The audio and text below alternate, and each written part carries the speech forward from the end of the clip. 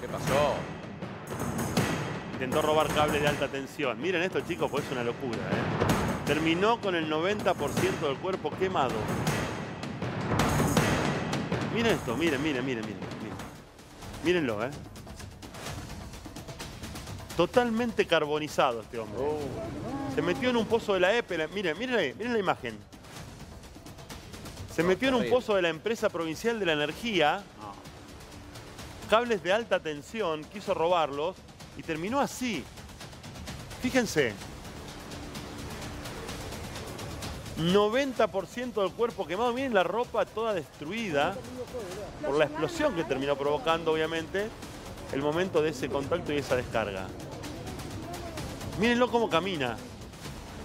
Este hombre que en este momento está internado debatiéndose entre la vida y la muerte, que en ese momento pudo salir de esa manera, Claro, y después pero que lo estaba empeorando. Bueno, va empeorando básicamente por el tema de la piel. Miren que la piel está casi, casi totalmente consumida.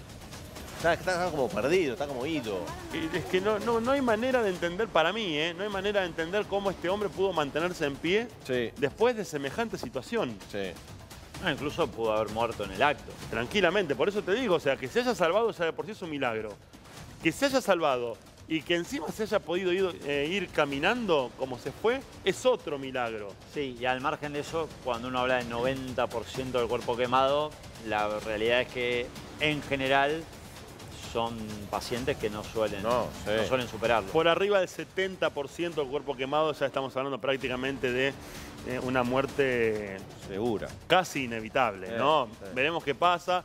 Eh, oh, pero por un lado, ojalá que se pueda recuperar y por otro lado, ojalá que después se pudra en la cárcel, ¿no? Porque recordemos que esto sucedió porque le robar cables, Claro, básicamente. No es que es un pobre Sí, pibe. está bien que cumpla eso, su ¿eh? condena, claro. Que lo salven los médicos si pueden, si pueden, y después que vaya derechito a prisión, así no le complica más la vida a nadie. Este horror realmente en la ciudad de Rosario, 90% de cuerpo quemado después de haber intentado robar cables de alta tensión, pero tenemos más, vamos.